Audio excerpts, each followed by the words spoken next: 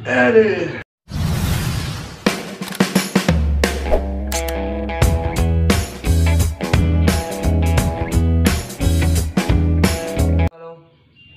Kembali lagi dengan saya di sini. Di masih di channelnya Kru 86 Petualang. Oke, kali ini saya lagi libur petualang nih ya. Lagi di rumah aja.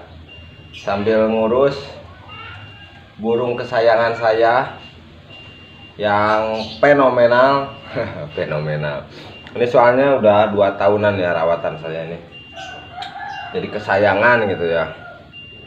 Jadi kali ini eh, kita nggak lagi eh, petualang jadi lagi libur di rumah ceritanya nih. Nah terus nggak ada bahan video ya udah kita nongkrong nongkrong aja gini sambil liatin ikan ya. Ini. Sambil liatin ikan tuh ya. Ini kan cupang ya. Sambil kita eh, apa namanya itu jenenge? Ini memanjakan kesayangan saya ini. Ini namanya si bagong ya. Perkenalkan. Perkenalkan gong. Eh jangan malu-malu ayo perkenalkan dulu siapa namanya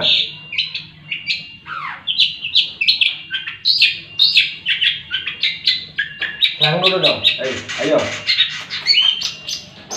hmm. Hmm. ini kesayangan saya ya terus ini burung namanya ini kalau di Sunda ini burung manuk cina ya. Ini kalau di Jawa disebutnya eh, cendet ini saya beli dulu eh, murah aja ya. Ini dulu belinya cuman 60 kayaknya dulu tuh. 60 jadi ceritanya ini. Oh jadi saya dapatnya ini dari pasar burung biasa om Jokan gitu ya. Jadi saya oh, dapatnya itu dari Om Jokan. Harganya sih cukup murah aja dulu ya. Dia dulu belinya itu 60 kalau nggak salah. Jadi ini prosesnya eh, kan dua tahun ya.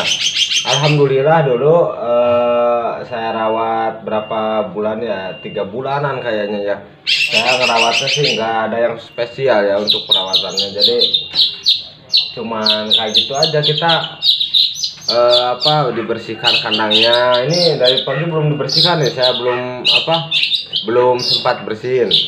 Jadi perawatannya cukup cukup mudah aja. Jadi pagi-pagi mandiin gitu ya biasanya. Biasanya keluar kan kalau saya masih baru dulu nih. Ini pas masih baru. Jadi saya baru dapat itu lagi rajin-rajinnya jam 5 keluarin dembunin gitu ya. Kalau pas nggak hujan dembunin nanti jam 7 udah ada matahari tuh mandiin disemprot. Nah saya pengen mandiin ini dengan cara di keramba dia nggak nggak mau gitu ya. Padahal udah mau dimasukkan itu nggak mau. Jadi mandiin nah habis dimandiin itu jemur. Jemur paling cuman bentar aja nggak lama-lama gitu ya.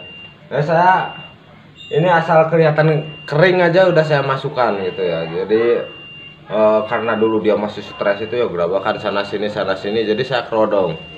Nanti sore buka lagi kerodongnya gitu ya. Nah terus eh, ada kata temen sering mandiin katanya. Jadi saya ser- sering mandiin tiap malam gitu. Jadi tiap malam jam 8 ada jam 10 wah pokoknya eh, apa se sebisanya gitu ya. Jadi sebisanya nih saya ingat mandiin malam mandiin gitu ya. Habis mandiin kasih jangkrik gitu.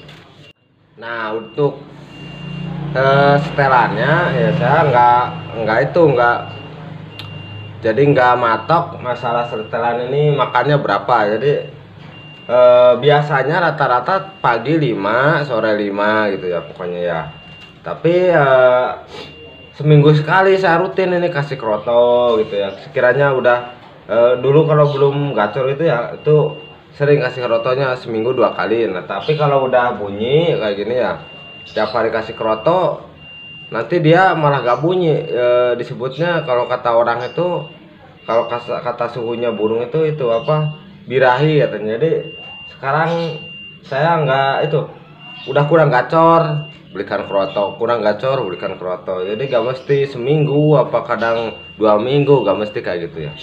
Oh ini eh namanya ini ini saya dapatnya berhubung ini cendet dari Jawa Barat.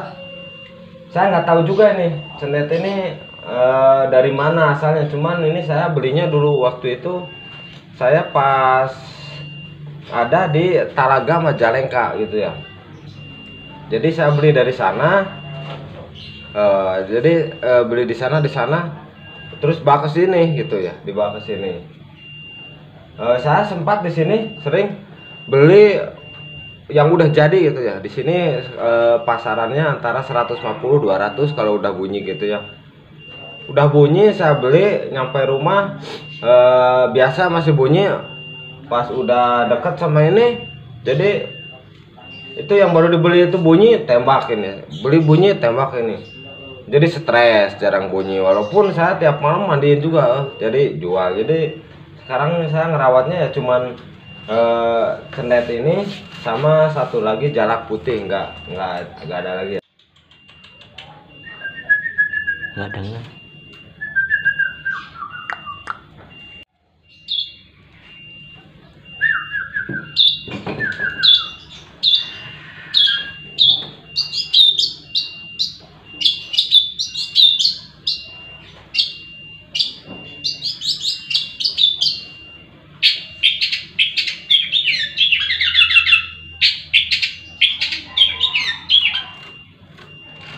dia masih ini aja masih agak birahi tuh.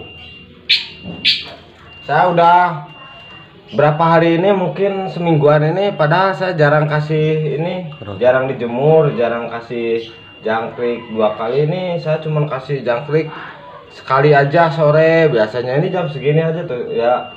Bukan karena gak mau jadi karena kesibukan tertentu gitu. Biasanya saya kalau pas gak sibuk gitu ya tiap pagi mandiin krotoy apa jangkrik. Sore jangkrik lagi. Kalau mandiin sih saya cukup pagi aja eh, sama malam kadang-kadang ya. Nah untuk biasanya kan birahi tuh ya ini kalau birahi kata orang gini gini gini apa namanya itu apa namanya? Joget-joget. Kata orang birahi itu apa namanya Mas Arif? Nggak tahu. Gini gini itu loh apa ngeleper? Ya bisa. Nah lapar. Kayak gitu itu. Biasanya saya ini masukkan tangan gitu ya. Eh sini. Nggak mau dia? Malu. Biasanya ke tangan dia. Eh ke tangan ini dikawin sama dia. Jadi biasanya sampai putih-putih di sini ya di, di sini itu saya sih kayak gitu aja kalau mengatasi ini birahi sepertinya ya. Nggak ada yang spesial pokoknya perawatan biasa aja. Nah apa ini eh, sekarang eh, karena ini eh, eh, namanya kru 86 kan sekarang kebanyakan petualangan ya. Ya. jadi kalau untuk burung. biasanya saya taruhnya di eh, saya punya YouTube baru masih kecil eh, namanya kru kicau. Nah jangan lupa ya teman-teman dukung juga itu channel Like, saya yang subscribe. baru eh, yang baru waduh subscribe-nya aja baru sedikit.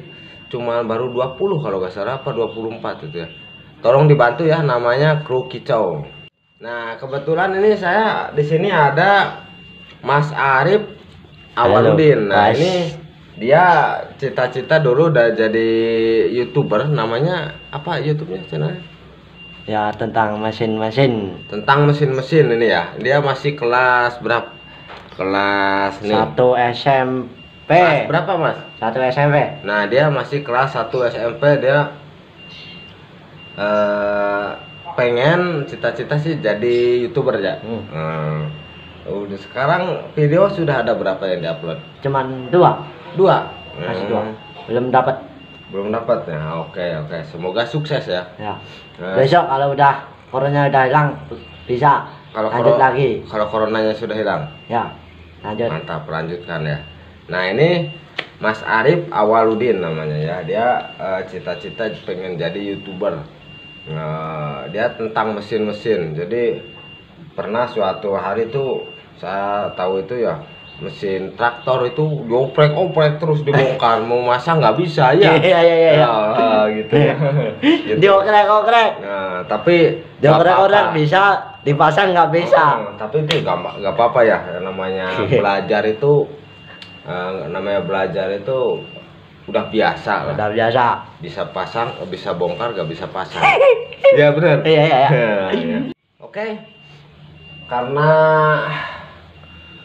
mungkin nggak ada lagi Pertanyaan? yang nanya siapa nggak ada Hmm.